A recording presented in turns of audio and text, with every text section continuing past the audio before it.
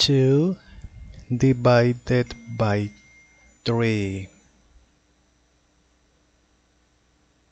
2 is less therefore complete always complete with 0 here 0 point. 0 point 20 is not less okay.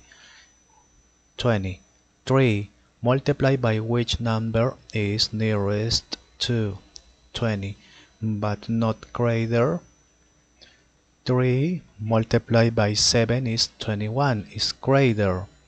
Multiplied by 6 is 18 20 minus 18 is 2 here there is not number therefore complete always complete with 0 point is here.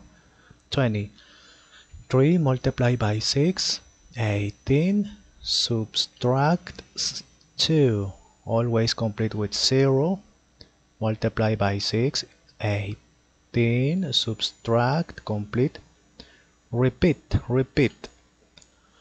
Therefore 6 repeat. Finish.